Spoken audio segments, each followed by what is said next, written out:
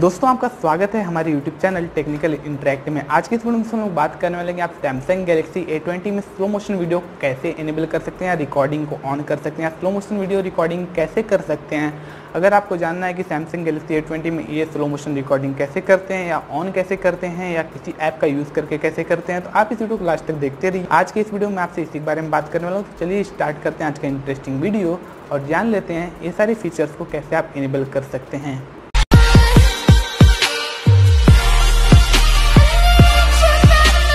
Play store में जाना है, आपको यहाँ पे सर्च करना है KineMaster KineMaster search करने के बाद ये पहला एप्लीकेशन आप इसे डाउनलोड कर लीजिए। लेकिन ये देखिए परचेज एप्लीकेशन है, आपको यहाँ पे फ्री एप्लीकेशन ये नहीं है। तो फ्री एप्लीकेशन आपको चाहिए तो आप कमेंट करिए, मैं आपको जल्दी बता दूँगा। तो ये एक पेड एप्लीकेशन है।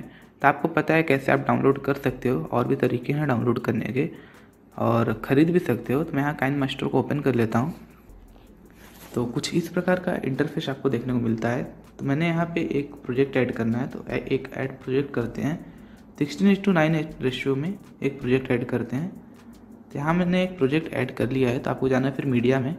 आपको उस वीडियो को सेलेक्ट करना है जिसको आप स्लो करना चाहते हो या फास्ट करना चाहते हो दोनों काम आप कर सकते हो चाहो तो, तो मैं यहाँ पे एक व्हाट्सएप पे एक वीडियो को सिलेक्ट करता हूँ। तो ये देखिए हमारा जो मेन वीडियो है ये है कुछ इस प्रकार से प्ले होता है। तो मैं यहाँ पे आपको प्ले करके दिखाता हूँ। तो यहाँ पे ओके तो हमने यहाँ पे क्या प्ले ना मगर काश पहले से पता होता।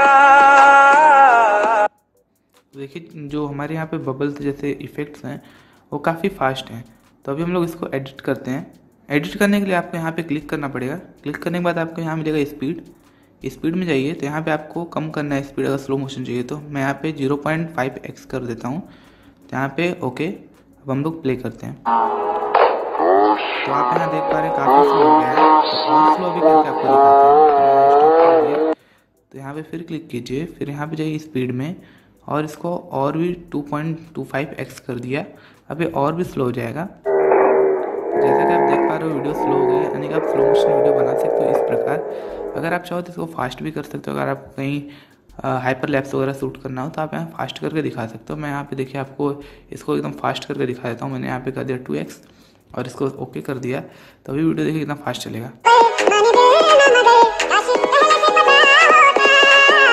फास्ट चल रहा है तो साउंड क्लियर नहीं आ रही थी उसमें फास्ट करने पे। लेकिन स्लो करोगे तो काफ़ी अच्छा साउंड इफ़ेक्ट आएगा। अगर आप एडिट करना अच्छे जानते हो तो काफ़ी बेस्ट सॉफ्टवेयर है। उम्मीद है दोस्तों, आपको ये उम्मीद नहीं रही होगी कि आपको ये फीचर इस फ़ोन में देखने को मिलेगा। आपने इस ऐप का यूज़ करना है, जिस ऐप को मैंने आपको बताया है। इस ऐप के यूज़ करके ही आप स्लो मोशन वीडियो रिकॉर्डिंग कर सकते हो। इस ऐप के बिना आप रिकॉर्डिंग नहीं कर सकते, क्योंकि सैमसंग की तरफ़ से ऑफिसली अपडेट अभी नहीं आया है। सैमसंग गलेक्सी ए ट्वेंटी के लिए अगर सैमसंग गैलेक्सी ए ट्वेंटी के लिए ऑफिसली अपडेट आता है सैमसंग की तरफ़ से तो मैं आपको ज़रूर बता दूँगा।